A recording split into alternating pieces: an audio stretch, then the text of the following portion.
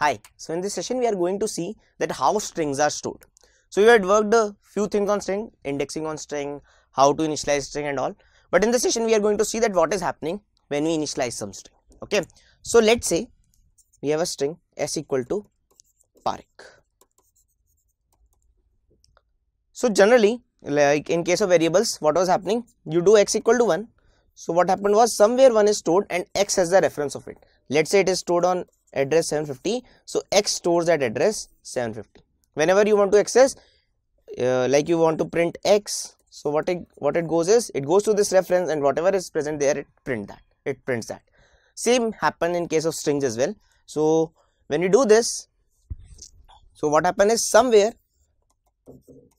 parik is stored and s has the reference of it. Let's say it is stored on reference 250 so s has the reference of it so S refers to it. Okay. Similarly, if you do like A equal to Rohan, so Rohan will be stored somewhere and A has the reference of it. So A refers to this string. Now you will do if you if you will do A is equal to Ankush. So it will not change this. Somewhere Ankush will be created and A does not refer to this now A refers to this. Okay. A refers to this. So the references are changed. Okay. So it doesn't change this, it changes the references like it was happening in case of variables. Okay. Now one more important point Python applies some optimization in case of strings. What kind of optimization? Let's say you do s equal to parik. So as we had did, somewhere parik will be created and s will be having the reference of it. You create another thing a equal to parik so generally for smaller strings it doesn't happen every time. For smaller strings it will happen that a will refer to same parik so s will be referring to this only a will be referring to this only. If you will do b equal to parik so b will also point to same parik so all of them has the reference 750 let's say its address is 750 so all of them have 750 they points to same string as happened in case of variables as well. You do x equal to 1, so somewhere 1 is created and x the reference, as the reference of it, you do a equal to 1, a also stores the same reference. Okay. Generally for smaller variables, smaller integers, it, it does like that. Similarly for smaller strings, it does like that. Okay. So let's confirm it by, by writing some code. Then we will discuss an important concept that strings are immutable through code only. Okay. So let's write some, some code and we will have a better clarity.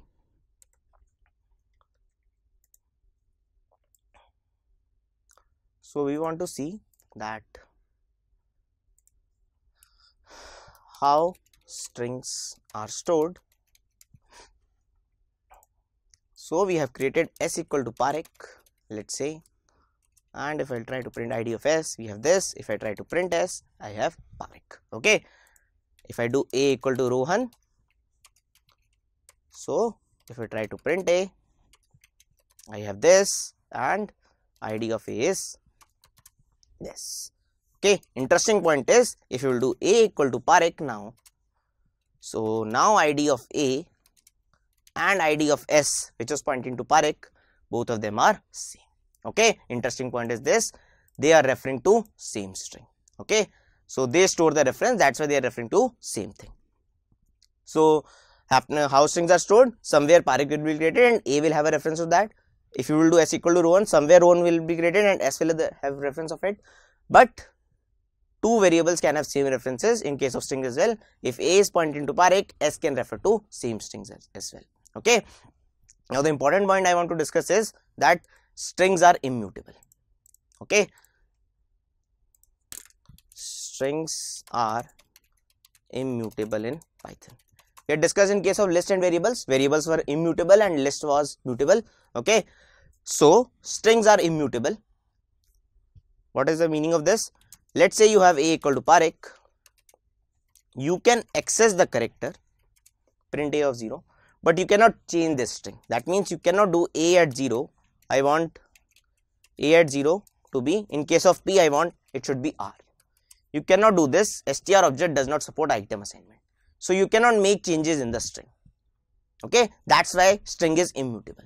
You have to change the reference references only. You cannot change the you cannot change the string. Okay? What is the meaning of this? Let's say you did a equal to parek so what happened was parek was created and a refers to this. Now if you will do a at 0 equal to r something like this. You cannot make changes in this. You cannot go into that and make changes in because this is immutable. Strings are immutable. You have to change the reference only. If you will want to do want to change the character you have to do like a equal to rarik. Something like this.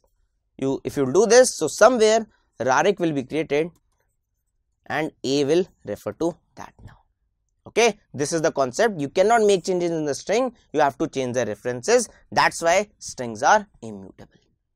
Okay so why it has happened? Because we know that there may be a case if a equal to parek and you do s equal to parek let's say this. So a is referring to it.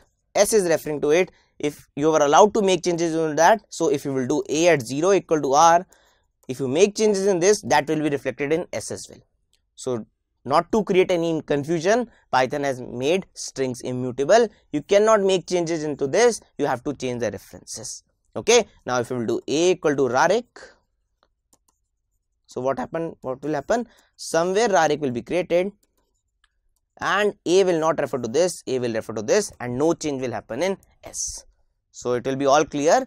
No confusion will be there. You cannot make changes in the string. You have to change the references references only. That's why strings are immutable.